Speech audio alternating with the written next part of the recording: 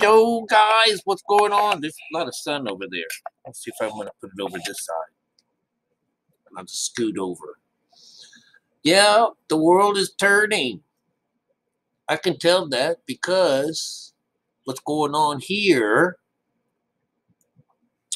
with the sun. It's it's, it's slowly in this situation. It's, it's it's going this direction. So uh, within the next week or so, you know, we'll be coming up on the the equinox or the solstice. That is the summer solstice this month, somewhere around the twenty third. But anyways, um, yeah. So each day, the sun in the sky moves a degree to the left or to the right because I'm dyslexic. It's either one of those.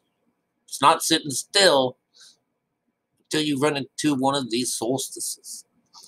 And then it sits still for three days and three nights as it looks like it sits still in the sky.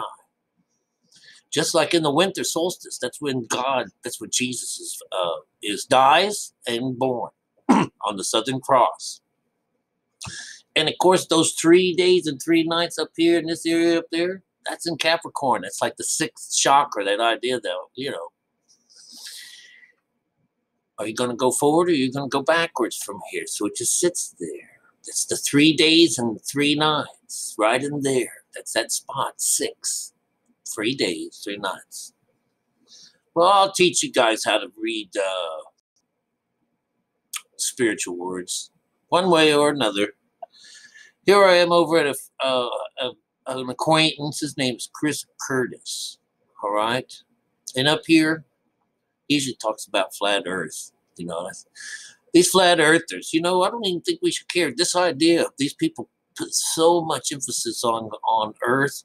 How are you going to disconnect? How are you going to put the world behind you in order to do what we are asked to do, and that's to become enlightened and lift ourselves out of this phase. In order to do that, you have to let go of the land. That's how it sounds in the Hopi prophecy. This is like this this this beautiful thing is like a giant wave that comes and crashes and wipes an entire village out. And I know that sounds terrible, but that's called dark sands. Dark sands, they really have something else inside them. They have something beautiful inside them. Just like the idea of spare the rod and spoil the child, that doesn't mean go and beat your child, except, you know, had enough of that.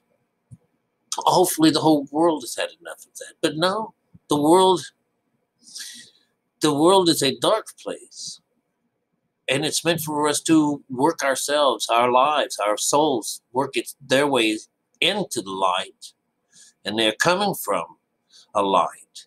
But in order to do this, we drag them through hell. And on the way there, we are growing our hair and becoming uh, human beings, and our soul itself is using us like we are a we are a host of a kind, host of God.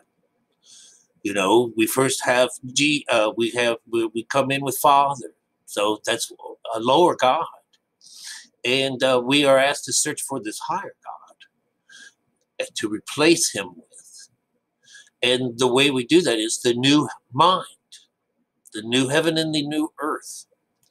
In our Bible, our Bible is not talking about earth itself. We have found out late, I wrote recently, through the Thoth tablets, the Thoth, Thoth, Thoth, I'm always messing those words up, that God does not create this earth. But uh, this is the playground for us to manifest it. And so, you know, and it belongs to Saturn. Okay? Satan. That's who the earth belongs to. That's who our lower mind belongs to until we correct it. All right? And that's what the Bible's talking about. So he's over here talking about Chris Curtis, and this one here is the Epic of Gilgamesh. Look what somebody wrote him.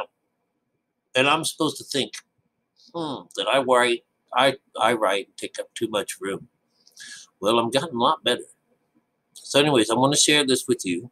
It's the Epic of Gilgamesh. You can remember, it's the flood myth. It's the first flood story. It's thousands of years before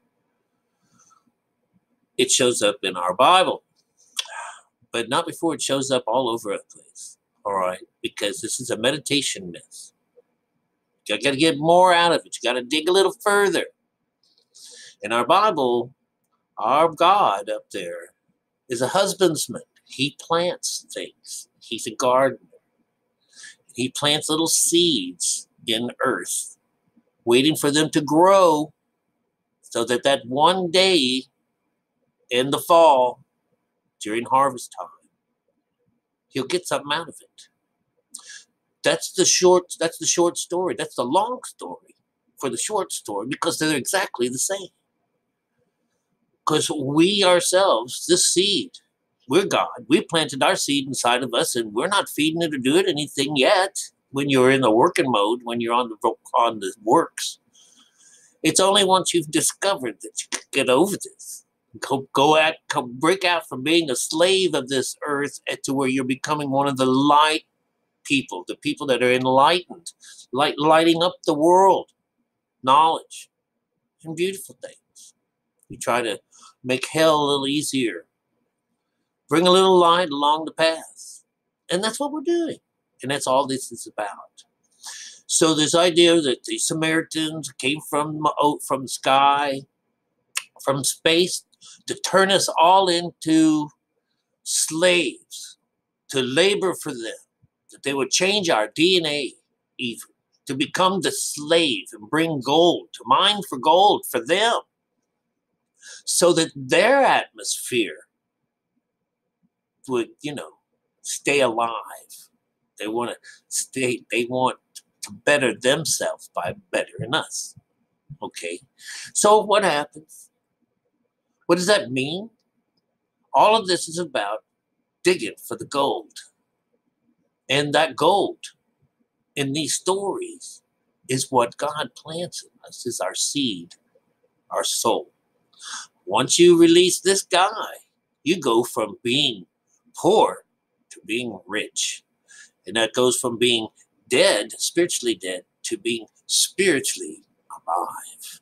It's beautiful. All right, so here's what I share with the world out there and what the Bible and all these other stories would share to those people with the eyes that can see this stuff, the ears that can hear it. All right, but check this out. This is what I tell them. I said, look into Greek cosmology. And we get five stages of consciousness all right, now I'm adding the fifth as the result. Okay, as a result. All right, may very well be the way it is. It says here, um, earth, water, air, and fire, and the new mind. It said they correlate to brain frequencies of beta, alpha, theta, and delta which gives us an end result the new mind. In this form, uh, it's the formula used to enlighten the individual who takes this journey. How to turn your inside light on and connect to source permanently. It says, hidden under these stories is the way home. See it like an amusement park game whereby the player whacks a disc up a pole to hopefully ring a bell at its top. Now, pictured as our chakra system of the spine, raising up from the root to the head. The sixth chakra is the ringer, the stone, the pineal gland, the Sabbath day. Seventh chakra is the light turning on. Now picture Noah's Ark and its description while resting on earth. The lower floor. Next are the two upper floors, and just a cubit away is a window. Uh, it says, when the dove, oh, and when to, I guess we got to fix that. When the dove returns, it's the Holy Ghost. This is the result. And now the ark rests atop a mountain. And it used our emotions, to sea, water, to lift us up there. Now we find Noah outside of the boat in a tent. He's in meditation. He is found naked without his garments, drunk of the new wine. Well, that's the introduction of the Holy Ghost. Wine, spirit. Naked because our skin is not allowed on this trip. It, the body, is represented by the ship and all the animals aboard. He is outside, outside of the ship. And we are looking at his soul. It's our soul, the child within us, that we send to do this bidding for the Father. This is the underlining science behind most all myths and spiritual scripture relating to returning to the source obtaining this light. Ask me anything, my friend. You will find that the Samaritan stories that many see as spacemen coming to Earth as they set out to manipulate the DNA of humans to make us slaves and dig for gold. Well, I'm afraid not. You're not digging deep enough into the text to see its truth. Its result is the exact same sequence as the above mentioned. In Nebuchadnezzar's dream of a man's image, the statue is also a representation of these same five steps. Its head is made of gold, and its torso and arms, silver, brass, represents the hips and the thighs. And the legs are iron with mixed clay and iron for the feet. In his dream, a small stone thrown, taps this image on the foot, and the image shatters. Believe it or not, it's the exact same turn of events as above, going for the gold. And it's a and takes away our slavery. You see, we are born with this unhealthy, unclean mind called a double mind. Individual, uh, uh, called a double minded individual, where only half of the operational capacity is being used. Sounds good. Unfortunately, this is the way all people are born. The right side of the boat's missing. It's the mother side, the Holy Ghost.